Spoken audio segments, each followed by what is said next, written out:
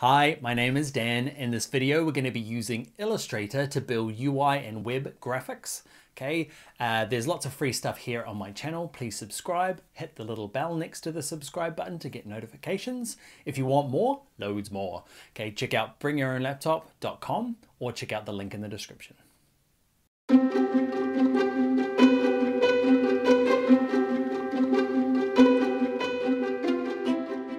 Okay, in this video, we're going to look at bringing in uh, really specific web safe fonts, okay, from Google Fonts and Typekit, like this little sexy guy here and these little plain Jane but very cool fonts up the top here.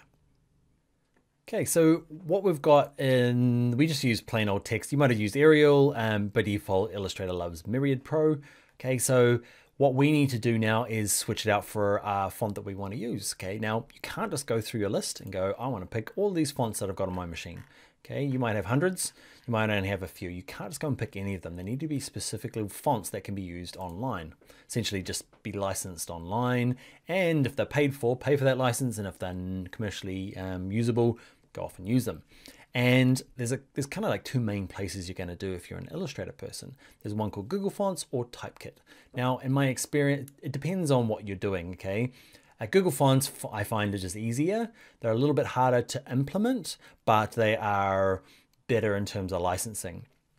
What happens is Google Fonts are free for commercial use, which are great. Typekit are free to use with your Creative Cloud license, which is perfect for my portfolio here because I'm not using it for anything else, um, you know, it's for my portfolio. But let's say I'm building it for a client and they don't have a Creative Cloud license. They'll have to use, you know, their website will have to license that font, or I'll have to use my Creative Cloud license to kind of like keep their site using the right font. And if I decide to, I don't know, move to the Himalayas and uh, like wrap up all my digital life means their font will stop working because I'm not paying for my Creative Cloud license. So we'll look at both of them. They're both cool both easy enough to use. So first of all, let's go look at Google Fonts. First up, go to fonts.google.com, okay, and you get here. I really like Google Fonts. There's loads of them. Um, a couple of cool things you can do with them is on the side here, say you need a handwriting font. Okay, they can be really hard to find. It's just have handwriting, and obviously just going to give you lists for handwriting fonts. Okay, um, so I'm to turn them all on. Um, some of the other nice things down the bottom here are you can play around with, say like the thickness. Um, what that means is, sorry, not thickness, I want width. Width can be really useful when you can lower it down. So you can get a kind of like a nice compact or compressed font, okay, or condensed font, just a bit thinner. It just means, especially when you're working online, if you get some of these really thin ones, okay, you can get a lot into a title without it breaking onto two lines, you can see here, you can fit quite a bit of words on this one. Whereas if you're looking for a, if you end up with a really wide font, you can see it's a lot further apart. Okay, regardless, there's two things you need to do. One is uh, pick a font. Okay, so Roboto and probably Open Sans. If you're looking for like a body copy font, these are the most common. Open Sans is probably the most common. It's the new Arial. Everyone uses Open Sans because it's clear, it's nice, it's got lots of different weights, and it works good in different languages. So and what I'm going to do is I'm going to pick, I've actually just spent some time having a look through and I've decided on, I'm going to use this one called Playfair. Okay, I really like it. This one here, it's got some good weights. What you can really do to make it, like sometimes you pick a font and it doesn't look good. Like you might think it looks good here, but then it looks terrible in the words you need. Okay, so you can see I can just kind of like type over the top of it just to see what my name looks like. Ooh, looks okay.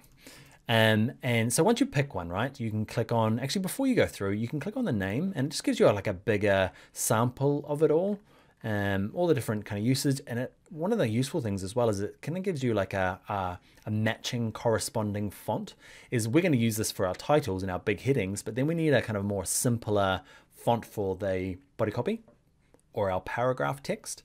Okay, and you can see down here, it's given me an option that says try Raleway okay, and or this one, or this one. Okay, I've opted for this one, uh, Open Sans Condensed. Okay, probably not the light version. It's maybe a bit too hard to read online in terms of usability. Okay, but it just gives you options. So if you're new or you're old school and you just need some help picking a nice font. Okay, so what we do is we pick this one and then find it at the top and we say select this font. Or if you're back in the other screen here, you click this little plus button. It adds it to this bottom here called collections okay? And uh, you can add the fonts to it. Now, how many do you add? Really, you just need two. Um, kind of comes down to more, is a mixture of just font rules. If you have 10 fonts on your site, it's going to look uh, terrible. Um, so keep it to a minimum, generally two, a heading font and a body copy font. You can have three if you need it. Um, so I'm going to add this one and then I'm going to find up here, uh, Open Sans. Okay, um, open, it's two word actually, Open Sans, and there's condensed here and I hit plus. So they're both together. I'm to pop this open. Now there's a couple of things I need to do. I'm to click on customize because I've got to decide of these fonts, which do I want? And what I actually want is I want the bold one and I don't use, I'm not to use the regular one in my design. What you could do is you could actually just turn them all on because we're at concept stage now. We're not sure which one we're to use, so just download them all. Okay. Um, what you don't want to use them all though in your actual finished design, just pick one or two because you can see the more time that's needed to load your page. And a slow loading, loading page is, is bad for a couple of reasons, is your user will spend ages trying to download fonts while your page is not loading, not caring about your amazing font selection, and Google doesn't like it, so they kind of penalize you in terms of your searches. So try not to pick too many fonts. But in my case, I'm downloading them all because at the moment, I'm just at my design stage. I will pick just one or two. But over here, there's this like obscure little arrow. This thing says download selection. The cool thing about this is it will download, okay, and I'm gonna put it into my exercise files. They'll be there ready for you. Um, to use in your own, uh, you know, so you don't have to go through this process. You can start using them. But we downloaded them. There they are. Open up the zip. And on a Mac, on both actually, Mac and PC now, these are pretty easy to implement. So I'm going to open up Open Sans and I'm going to double click all of these. Okay, and it's going to open and I can click install. I've already installed them on mine, okay, earlier. Um, do it for both of them. Okay, select all of these, double click, they'll install, and you can start using them in Illustrator. Illustrator doesn't need to be restarted. You'll just find that they amazingly appear.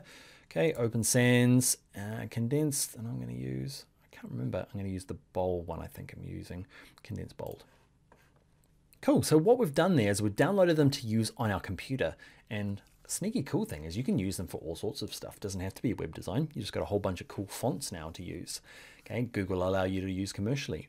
Now what you're meant to do is pick these ones and when you later on give your files to a designer or a web designer or web developer or you're doing it yourself, you'll use those fonts uh, in a special way when the website gets built. They call Google and say, we're using these fonts, please. And font, uh, Google says, no worries, and makes them work on your website.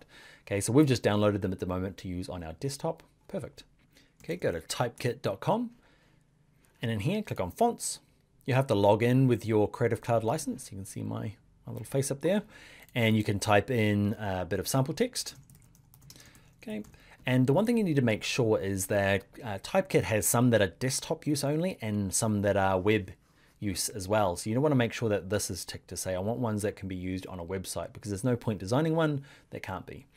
Okay, and over here, the same things like Google, you can click on, say I want scripty fonts only, and it kind of separates this down just to the script fonts.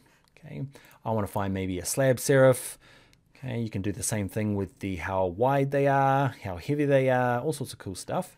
Um, and yeah, it gets a little easier to start implementing. Say I love this font here, this Sutro, okay, and I click on it. I decide which one I want to use. Okay, I want to use this deluxe fill. I love it. Click on sync. Okay, and what happens is in the background, it's actually installing on your machine, which is pretty crazy. You can see it's just kind of installed there. So Sutro, so it's a little bit easier than the Google fonts. Okay, Sutro, where are you? Sutro, great, and I can start using them. Great. The remember the only problem with Typekit is there is uh, it's a paid license. You get it free for your Creative Cloud, so for your own stuff, it's perfect. But going out to a client, you might have to you're going to have to explain that this font is licensed, it's a per yearly cost, and you'll add that to your web design.